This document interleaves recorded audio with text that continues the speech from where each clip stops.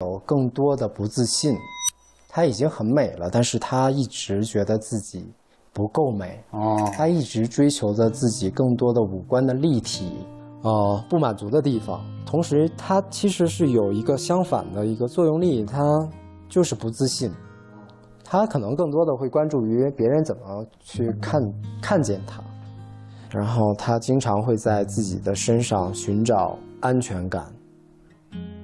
我希望她可以让自己更自信，摆脱别人看她的一些认知跟角度吧，就是让她可以把更多的注意力放到自己的身上，不要放到别人的身上，不要让自己认为别人怎么看待她，更多的是你要让她相信自己，自己有更多的自信心。但是我觉得她已经真的很美了，她的一切都很完美。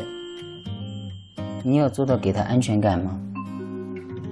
哦，我们之所以能在一起，其实我身上有很多能量，很多阳光的东西，可以让他得到温暖，让他得到安全感。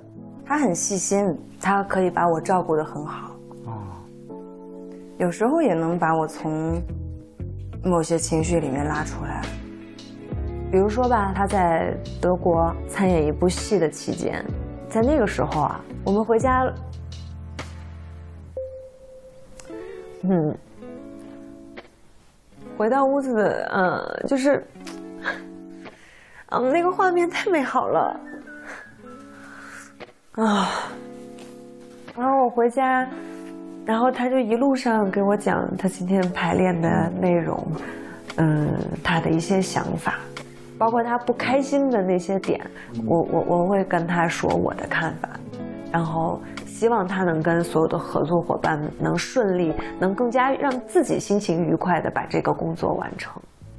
他那部剧其实跟他小时候的经历有关，讲的是一个中国很小很小的小朋友，从小就被家里送去练杂技。如果小时候也是练杂技的，他就探讨了一个问题：是不是？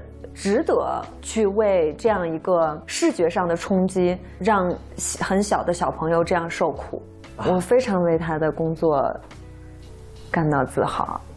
我跟他在一起的感觉啊，就特别年轻的爱情，很轻盈，嗯，像两只小蜜蜂。